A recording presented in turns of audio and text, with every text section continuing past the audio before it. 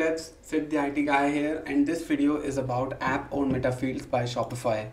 So in this video I will tell you how uh, app data meta fields work and I will show you a working example with Laravel of it. So if we look into what the app data meta fields is, if we wanted to define it, it is like a set of values that is only accessible to the components that are attached with the public app and the Shopify public app itself. Meaning that when you install your uh, Shopify app onto a store, you can have a separate namespace for your app to store meta fields and their values in it. So an app data meta field is a meta field that is tied to a particular app installation and can only be accessed by that app. So I hope it makes sense um, and let's move forward with it. Now this can't be overwritten by other apps or merchants meaning that uh, only your app can access only your set of meta fields that you set with it. You are not allowed access outside of it and uh, obviously we have to use GraphQL with it because um, app data meta fields functionality is tied to GraphQL rather than REST API and uh, similar to private meta fields uh, using meta field property of liquid yeah.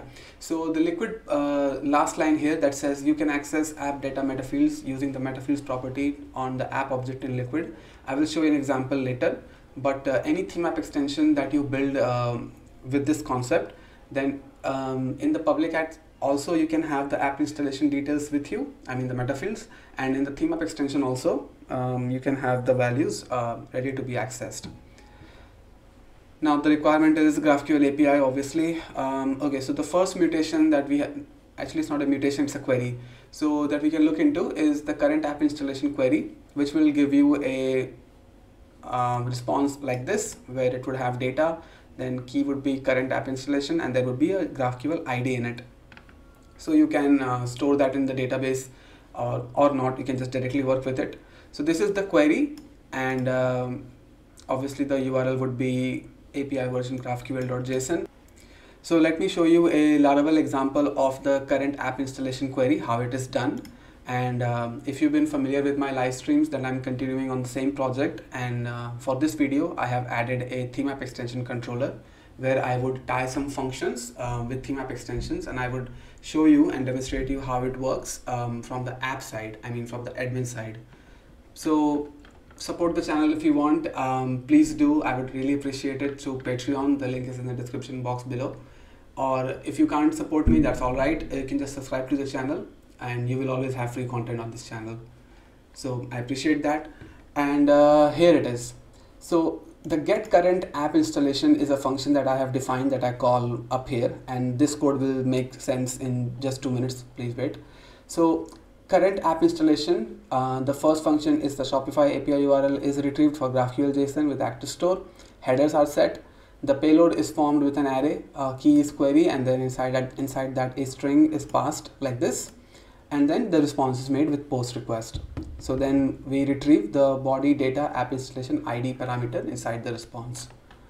So when we get that, um, yeah, so that is the implementation in Laravel. And after that, the guidelines tell us that we have to create an app data meta field, which is where um, our app can post a value into a namespace, into a key um, on the Shopify side.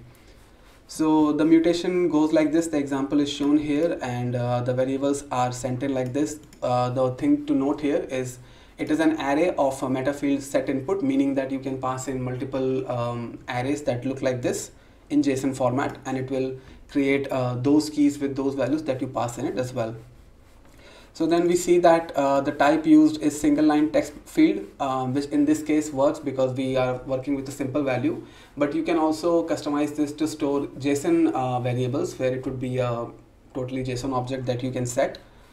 So the, uh, that is what we do here. Um, I have initialized this value, my values, which is a value that I added just now, just to show you how it reflects on Shopify side.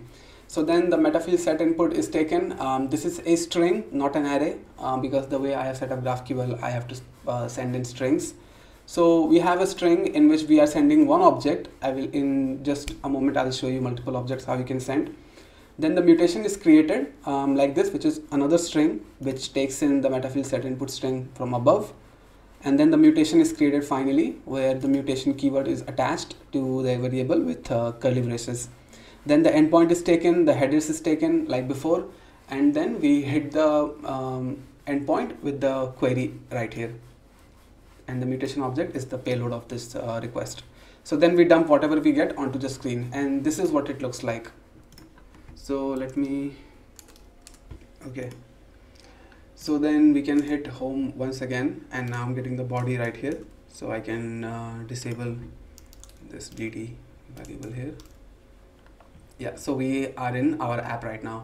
So this set meta field, uh, sorry, so this set app meta field route is the one that I created to demonstrate the functionality. And if I hit enter on this, then this is the response that we get. So if I zoom in a little bit, um, so you can read properly. So in theme app space as the namespace and theme app key as the key, the value is a value that I added just now.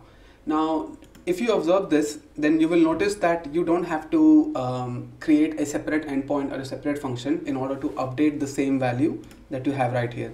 So you can go into the controller and you can just append any string that you want. So now the new value is a value that I added just now as edit. So now if I go back and run it again, so now the new value is reflected in the same uh, key. So this is one of the questions that one of my um, Discord members asked. So I hope this answers your question. You don't have to create a separate endpoint for updating meta fields.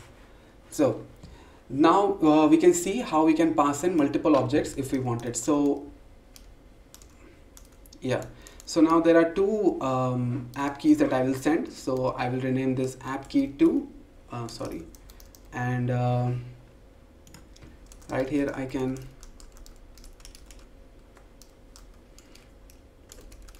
a second value for second object. Yeah, so I can put that here and use it right here yeah and uh, now if I go hit and refresh now I have two items inside the meta fields. Theme app key 2 and the value is a second value for second object.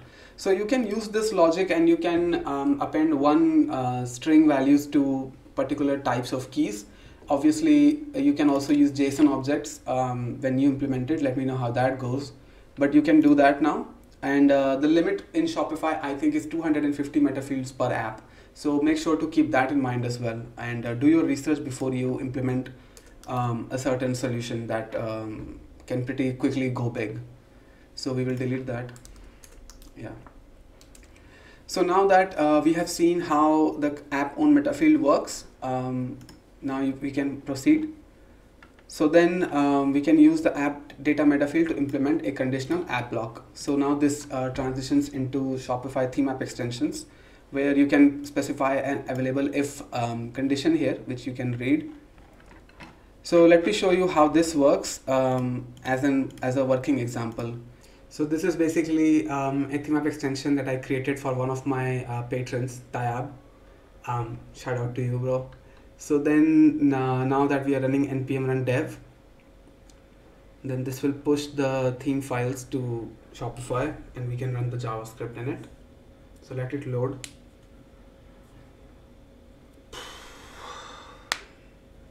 So the section that we are we will be looking for is app meta field example. So now that we have it running, let it push the theme so we can access the theme editor. Right so now this is um, working.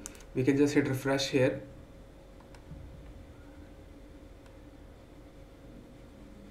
And inside the theme editor I can just click add section right here and I can click app meta field example and uh, down here now we see theme app key is a value that I just now added as edit then this is a redundant key don't worry about that and then a theme app key 2 which is a second value for second object. So now that I have um, all of my variables here, I can assign it to a JavaScript variable and I can uh, do whatever with it. Now app meta fields are basically a database that is kept on Shopify's side where I can store values from my admin side and I can play around with it. So remove this uh, line, yeah. So basically we don't need this anymore. So basically in this um, line, you have to specify the same space, uh, app space that you are um, working with. Yeah, basically that's uh, pretty much it. Let me know how you liked the video. Um, let me know if you have any sort of question. Um, I'll be happy to help you out. Um, subscribe to the channel if you liked it, smash that like button. And um, if you want to take it a step further, please consider donating me on Patreon. And I will see you in the next one. Thank you.